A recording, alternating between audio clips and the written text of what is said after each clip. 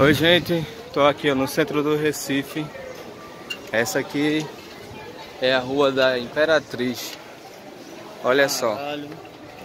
Tudo falido. Tudo fechado, ó. Não, não, não, tem que tomar, pô. Olha. Essa rua aqui era cheia de gente. Mas agora as lojas tudo fechadas ficando deserto. Isso aqui é o PSB, administração do PSB em Recife.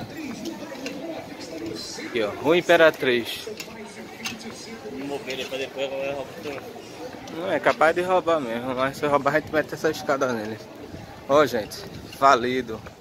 Isso aqui era um movimento tão grande aqui no Recife, era a rua mais movimentada. Toda segunda-feira.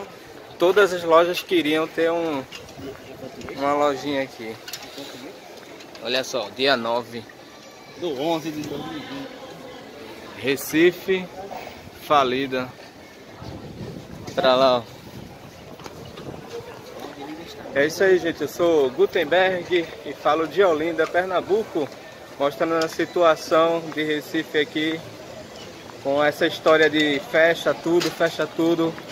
O presidente Jair Bolsonaro falou, né?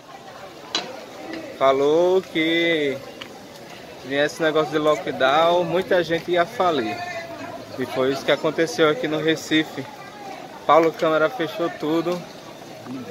E agora o pessoal tudo desempregado aqui no Recife. O TBR Nascimento, eu falo de Recife, Pernambuco para todos do nosso canal Solar Urgente Brasil. Tchau!